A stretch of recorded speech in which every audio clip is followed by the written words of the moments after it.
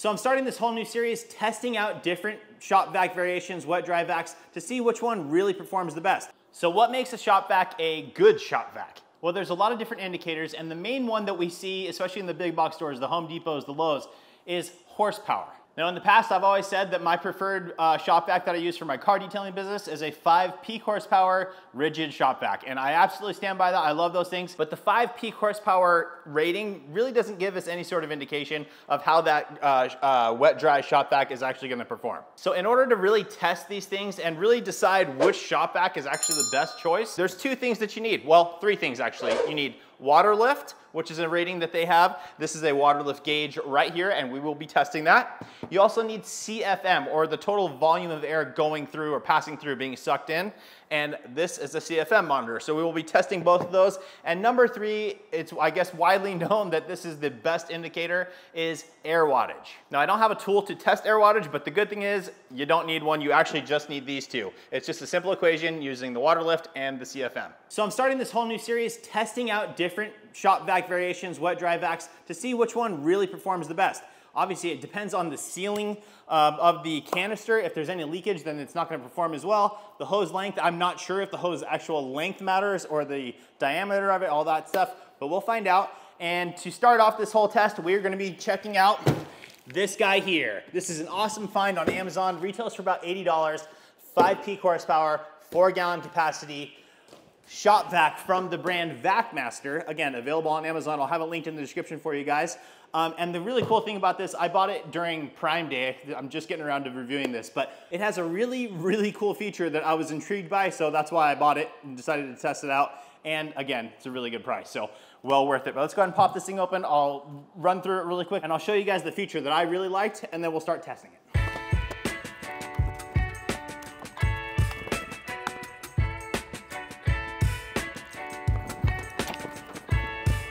Okay guys, so here is the unit, and I would say right off the bat, I really like the color combo. It looks really, really good. You have your on-off switch right on top here. Um, again, shows ultra quiet two-stage motor, which is really, really cool. So we'll test that as well, see how loud the thing is. You have these hooks that are really easy to remove, um, but these are for storage of your hose. Um, build quality on the thing is, I would just call okay. It's fine, nothing special. Doesn't seem like the thickest plastic in the world. Uh, the wheels just kind of slide right into place and then you just sort of secure them down with a, uh, a, screw. These ones just pop into place like normal. So that's all good. I do like the fact that they do have a large wheel in the back. Something I do not like though is that there is no locking me mechanism for the wheel. So me personally, while I'm detailing cars, sometimes you're on a steep driveway and with no locking mechanism, it could potentially roll into the car, so you just gotta be careful with that. Um, outside of that, let me go ahead and show you guys around the back. So really nice, you actually have um, a filter inside. Uh, actually, let's go ahead and move on to that. Let me pop this open really quickly.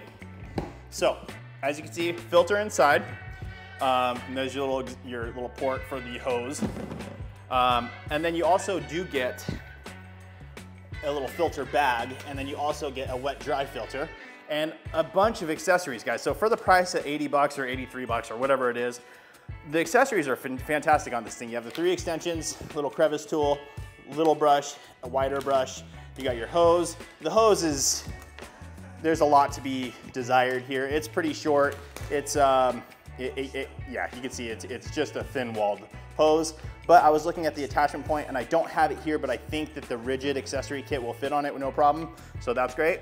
And then you also do have a floor tool with uh, variable height. So really cool, you can adjust the height depending on if you're working on you know tile or carpet or whatever else. So that's great for just around the house. But um, moving over here, we do have, again, that filter inside, and then we have an exhaust filter that is built in. You just push this up, this little door comes off, and here's your exhaust filter. So that will probably, I mean, that's definitely gonna help with the fine particulates and keeping those out of the air. So that's really cool, something that a lot of the Ridgids do not have. Um, they just have the regular exhaust port, but the bad thing about this is uh, on a usual shop vac, wet dry kind of garage vac, um, you could take the hose off the inlet and you could put it on the outlet and then it becomes a blower. Um, it's not something I use because it blows out what's inside, um, but just in case you need a blower and you're in a pinch, you could do that. Um, with this one, it looks like there's no option for that. So uh, keep that in mind, but I do like that they have the filter. you have this little storage cubby on the back. And here is the feature that I was blown away by here. And it is a retractable hose. So it stays into place and you have the retraction button, pulls it right back in. How long that's gonna last, I do not know. Um, but that's very, very cool. I absolutely hate dealing with cords on vacuums personally. Just a couple more facts for you guys. It, the retractable cord is an 18 foot retractable cord. All the storage, HEPA rated filtration, two stage motor, um, and then the hose, uh, I'm gonna say I'm six feet tall, so my wingspan, it's probably seven feet, seven foot um, hose, or right about there. All right, guys, let's go ahead and start testing this little guy. I'm going to go ahead and plug it in. Um, we will test the decibel rate. You know what? I apologize. I'm not going to test the decibel rating in this situation. I'm in a garage. I don't know if you can, I have a microphone on, but there is an echo in here. It's not gonna be a fair representation. And if you can see out that window, it is dark outside. I don't wanna annoy my neighbors.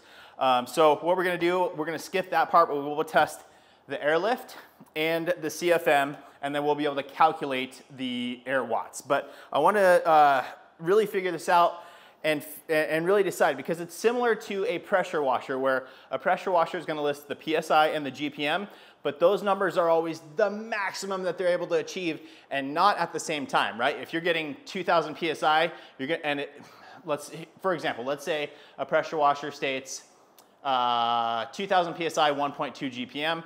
Typically, it's not even gonna get that 2000 PSI, but it'll actually operate around 1800 PSI, say, and we'll be at like 1.1 GPM. And then as we reduce the PSI, the GPM goes up. So again, the max ratings aren't gonna happen at the same time. They're gonna be like this and kind of level out as they, uh, as you adjust. So I think it's the same situation here. So let's go ahead and find out. We're gonna test it straight from the port right here, and then we'll throw the hose on and test it that way as well to see if there's any difference, because I don't know. Again, guys, retractable. I think this is the coolest feature ever. Well, it was on. I have to say, it's quite quiet. It's, it's very quiet, actually. I'm, I'm quite impressed.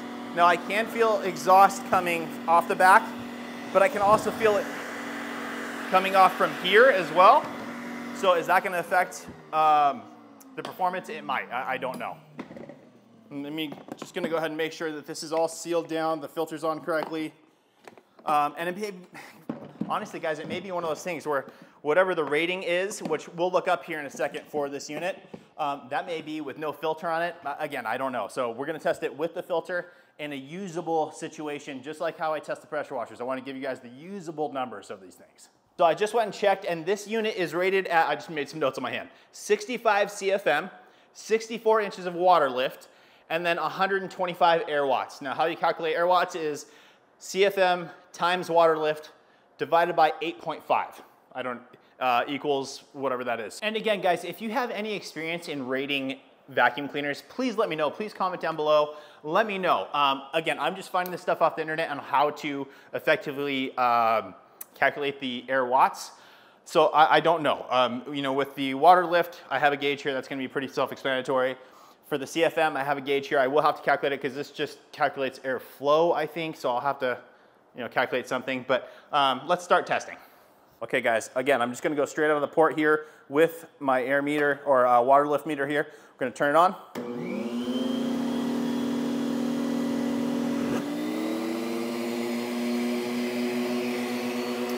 Flip you around.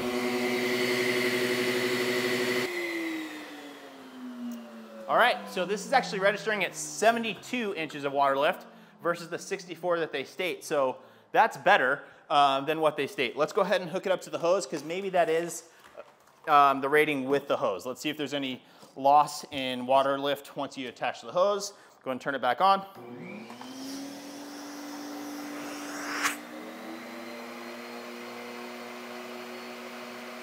And a tiny, tiny bit, but it looks like we're about just 70 now instead of the 72.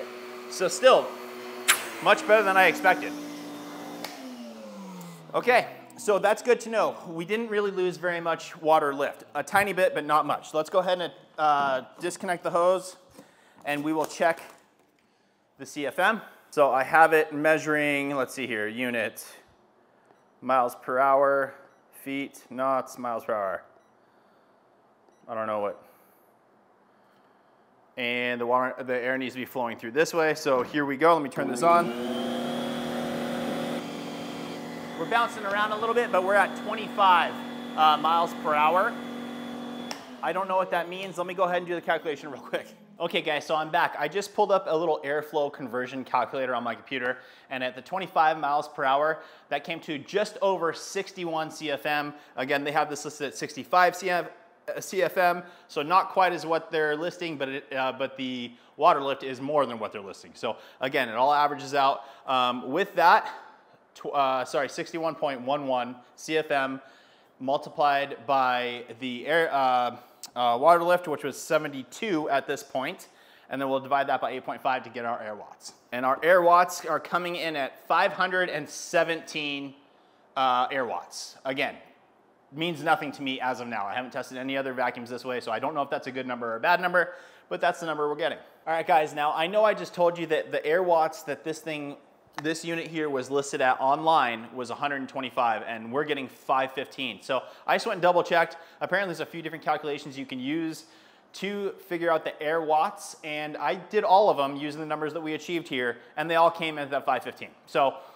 uh, I think that what they listed was wrong. It's at 515 air watts, which again, I don't know if it's good or bad, but go ahead and comment down below, guys. If I'm doing that wrong, please let me know. Otherwise, I'm gonna use this metric. I'm gonna use that calculation that I got, so the 515 air watts, uh, 72 inches of water lift, and 61 um, CFM. Other than that, very, very, very quiet machine. I'm very impressed with that. Um, again, the water lift, the CFM, I don't know. Is that good or not? I don't know. We will find out uh, here shortly. I will bring in some Ridgid vacs. I will bring in all these different vacuums to really test and find the best value, best bang for buck for a little shop vac, and then also some wall mount solutions. I'm gonna set up a wall mount vacuum in my shop. Um, and I have three here that I'm gonna be testing out. I'm gonna be testing out the Adams. I can't remember the brand that they partnered with, but it's a really small, really uh, flush mounted unit, which looks really cool. And then we have the VacuMaid, and then we have the, oh man, Prolux that we're gonna be testing as well. Those, are, those two are significantly more expensive uh, than the one from Adams. But Adams does have a partnership with the VacuMaid one as well. So anyways, we're gonna be testing out all those. So make sure you're subscribed. We're gonna be doing a whole series on these vacuums, guys, to really figure out the CFM, water lift, and then the air watts to see what vacuum really is best. Again, five uh, horsepower, Peak Ridgid vacuum is what I've always used. Anything more than that kind of pulls the, uh, the uh, carpet up too much. I like that number, but again, I don't know if that really equates to the same thing for every single vacuum. This one's rated at five horsepower. We'll see if it, uh, how it compares to the Ridgid. So stay tuned for those. Thanks so much for watching today's video. I appreciate all of you. Please make sure to like the video. Make sure you subscribe, turn on that notification bell. We'll see you on the next one.